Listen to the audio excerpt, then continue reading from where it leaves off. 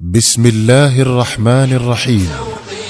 شوقي للقياهم يزيد ولحبهم هتف القصر يا جيل أتباع الهدى. أشرق علينا من جديد شوقي يسر جمعية مودة أن تقدم لكم صورا من حياة الصحابة لعبد الرحمن رأفت الباشا. رحمه الله. الطفيل بن عمرو الدوسي رضي الله عنه. قادة الدنيا فمن قادوا ولا عرفوا المحيط. هم أسوة الإنسان في الأقوال والفعل السديد. الطفيل بن عمرو الدوسي سيد قبيلة دوس في الجاهلية وشريف من أشراف العرب المرموقين وواحد من أصحاب المروءات المعدودين. لا تنزل له قدر عن نار ولا يوصد له باب أمام طارق. يطعم الجائع ويؤمن الخائف ويجير المستجير. وهو إلى ذلك أديب أريب لبيب وشاعر مرهف الحس. رقيق الشعور بصير بحلو البيان ومره حيث تفعل فيه الكلمة فعل السحر. غادر الطفيل منازل قومه في تهامة متوجها إلى مكة. ورح الصراع دائرة بين الرسول الكريم صلوات الله وسلامه عليه وكفار قريش. كل يريد أن يكسب لنفسه الأنصار ويجتذب لحزبه الأعوان. فالرسول صلوات الله وسلامه عليه يدعو لربه وسلاحه الإيمان والحق. وكفار قريش يقاومون دعوته بكل سلاح. ويصدون الناس عنه بكل وسيلة. ووجد الطفيل نفسه يدخل في هذه المعركة على غير أهبة ويخوض غمارها عن غير قصد. فهو لم يقدم إلى مكة لهذا الغرض ولا خطر له أمر محمد وقريش قبل ذلك على بال. ومن هنا كانت للطفيل بن عمرو الدوسي مع هذا الصراع حكاية لا تنسى. فلنستمع إليها فإنها من غرائب القصص. حدث الطفيل قال قدمت مكة فما إن رآني سادة قريش حتى أقبلوا علي فرحبوا بي أكرم ترحيب وأنزلوني فيهم أعز منزل. ثم اجتمع إلي سادتهم وكبراؤهم وقالوا يا طفيل إنك قد قدمت بلادنا وهذا الرجل الذي يزعم أنه نبي قد أفسد أمرنا ومزق شملنا وشتت جماعتنا. ونحن إنما نخشى أن يحل بك وبزعامتك في قومك ما قد حل بنا. فلا تكلم الرجل ولا تسمعن منه شيئا فإن له قولا كالسحر. يفرق بين الولد وأبيه وبين الأخ وأخيه وبين الزوجة وزوجها. قال الطفيل فوالله ما زالوا بي يقصون علي من غرائب أخباره ويخوفونني على نفسي وقومي بعجائب أفعاله حتى أجمعت أمري على ألا أقترب منه وألا أكلمه أو أسمع منه شيئا. ولما غدوت إلى المسجد للطواف بالكعبة والتبرك بأصنامها التي كنا إليها نحج وإياها نعظم حشوت في أذني قطنا خوفا من أن يلامس سمعي شيء من قول محمد. لكني ما إن دخلت المسجد حتى وجدته قائما يصلي عند الكعبة صلاة غير صلاتنا ويتعبد عبادة غير عبادتنا فأسرني منظره وهزتني عبادته ووجدت نفسي أدنو منه شيئا فشيئا على غير قصد مني. حتى أصبحت قريبا منه. وأبى الله إلا أن يصل إلى سمعي بعض مما يقول. فسمعت كلاما حسنا. وقلت في نفسي ثكلتك أمك يا طفيل. إنك لرجل لبيب شاعر. وما يخفى عليك الحسن من القبيح. فما يمنعك أن تسمع من الرجل ما يقول. فإن كان الذي يأتي به حسنا قبلته. وإن كان قبيحا تركته. قال الطفيل ثم مكثت حتى انصرف رسول الله صلى الله عليه وسلم إلى بيته فتبعته حتى إذا دخل داره دخلت عليه. فقلت يا محمد إن قومك قد قالوا لي عنك كذا وكذا وكذا فوالله ما برحوا يخوفونني من أمرك حتى سددت أذني بقطن لئلا أسمع قولك. ثم أبى الله إلا أن يسمعني شيئا منه. فوجدته حسنا فاعرض علي أمرك. فعرض علي أمره وقرأ لي سورة الإخلاص والفلق. فوالله ما سمعت قولا أحسن من قوله ولا رأيت أمرا أعدل من أمره. عند ذلك بسطت يدي إليه وشهدت أن لا إله إلا الله وأن محمدا رسول الله. ودخلت في الإسلام. قال الطفيل ثم أقمت في مكة زمنا تعلمت فيه أمور الإسلام وحفظت فيه ما تيسر لي من القرآن. ولما عزمت على العودة إلى قومي قلت يا رسول الله إني امرؤ مطاع في عشيرتي وأنا راجع إليهم وداعيهم إلى الإسلام. فادعوا الله أن يجعل لي آية تكون لي عونا فيما أدعوهم إليه. فقال اللهم اجعل له آية. فخرجت إلى قومي حتى إذا كنت في موضع مشرف على منازلهم وقع نور فيما بين عيني مثل المصباح. فقلت اللهم اجعله في غير وجهي فإني أخشى أن يظنوا أنها عقوبة وقعت في وجهي لمفارقة دينهم. فتحول النور فوقع في رأس سوطي فجعل الناس يتراءون ذلك النور في سوطي كالقنديل المعلق وأنا أهبط إليهم من الثنية فلما نزلت أتاني أبي وكان شيخا كبيرا فقلت إليك عني يا ابت فلست منك ولست مني. قال ولم يا بني؟ قلت لقد أسلمت وتابعت دين محمد صلى الله عليه وسلم. قال أي بني ديني دينك. فقلت اذهب واغتسل وطهر ثيابك ثم تعال حتى أعلمك ما علمت.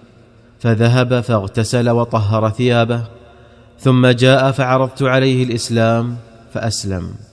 ثم جاءت زوجتي فقلت إليك عني فلست منك ولست مني. قالت ولم بأبي أنت وأمي؟ فقلت فرق بيني وبينك الإسلام فقد أسلمت وتابعت دين محمد صلى الله عليه وسلم. قالت فديني دينك. قلت فاذهبي فتطهري من ماء ذي الشرى وذو الشرى صنم لدوس حوله ماء يهبط من الجبل. فقالت بأبي أنت وأمي أتخشى على الصبية شيئا من ذي الشرى فقلت تبا لك ولذي الشرى قلت لك اذهبي واغتسلي هناك بعيدا عن الناس وأنا ضامن لك الا يفعل هذا الحجر الأصم شيئا. فذهبت فاغتسلت ثم جاءت فعرضت عليها الإسلام فأسلمت. ثم دعوت دوسا فابطاوا علي إلا أبا هريرة فقد كان أسرع الناس إسلاما. قال الطفيل فجئت رسول الله صلى الله عليه وسلم بمكة ومعي أبو هريرة فقال لي النبي عليه الصلاة والسلام ما وراءك يا طفيل؟ فقلت قلوب عليها أكنة وكفر شديد لقد غلب على دوس الفسوق والعصيان. فقام رسول الله صلى الله عليه وسلم فتوضأ وصلى ورفع يده إلى السماء. قال أبو هريرة فلما رأيته كذلك خفت أن يدعو على قومي فيهلكوا.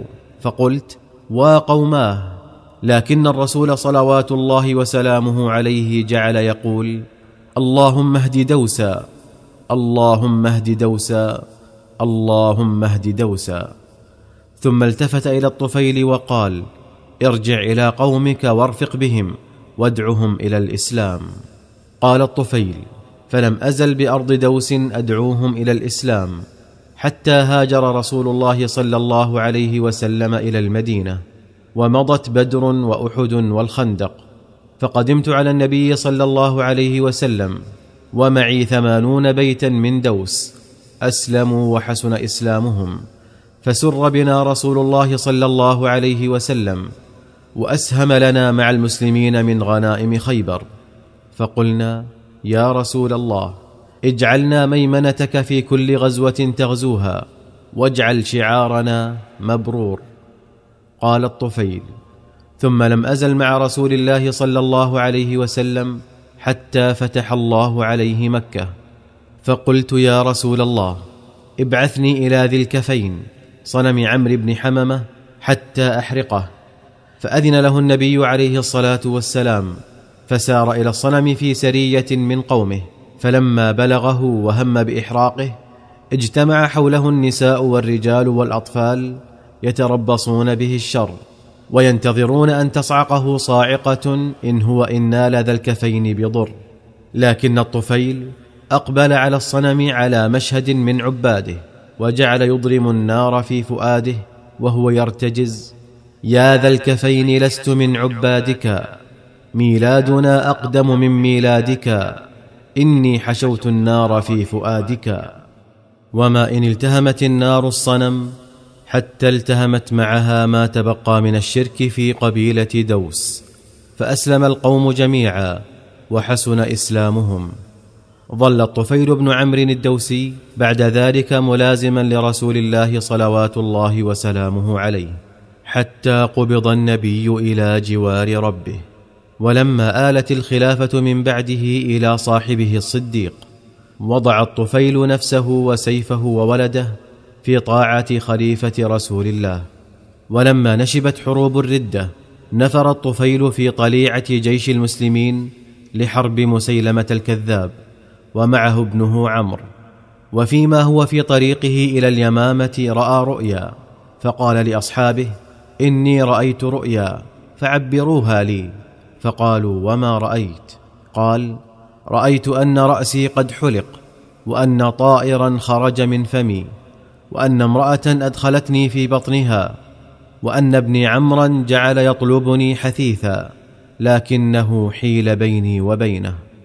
فقالوا خيرا. فقال أما أنا والله لقد أولتها أما حلق رأسي فذلك أنه يقطع. وأما الطائر الذي خرج من فمي فهو روحي. وأما المرأة التي أدخلتني في بطنها فهي الأرض. تحفر لي فأدفن في جوفها وإني لأرجو أن أقتل شهيدا. وأما طلب ابني لي فهو يعني أنه يطلب الشهادة التي سأحظى بها إذا أذن الله لكنه يدركها فيما بعد. وفي معركة اليمامة أبلى الصحابي الجليل الطفيل بن عمرو الدوسي أعظم البلاء حتى خر صريعا شهيدا على أرض المعركة. وأما ابنه عمرو فما زال يقاتل حتى أثخنته الجراح وقطعت كفه اليمنى فعاد إلى المدينة مخلفا على أرض اليمامة أباه ويده. وفي خلافة عمر بن الخطاب دخل عليه عمرو بن الطفيل فأتي للفاروق بطعام والناس جلوس عنده فدعا القوم إلى طعامه فتنحى عمرو عنه فقال له الفاروق ما لك؟ لعلك تأخرت عن الطعام خجلا من يدك. قال أجل يا أمير المؤمنين. قال والله لا أذوق هذا الطعام حتى تخلطه بيدك المقطوعة والله ما في القوم أحد بعضه في الجنة إلا أنت. يريد بذلك يده. ظل حلم الشهادة يلوح لعمر منذ فارق أباه. فلما كانت معركة اليرموك بادر إليها عمرو مع المبادرين. وما زال يقاتل حتى أدرك الشهادة التي مناه بها أبوه. رحم الله الطفيل بن عمرو الدوسي فهو الشهيد وأبو الشهيد. اللهم اجعل له آية تعينه على ما ينوي من الخير من دعاء الرسول له بمحمد وبصحبه قد أسس الصرح المشيد يا شعر أسعفني أفض في مدحهم هل من مزيد. سلة الإيمان والتقوى